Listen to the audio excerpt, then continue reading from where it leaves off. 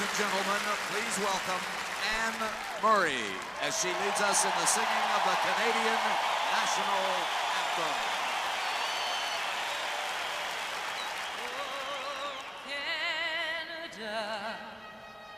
Oh, our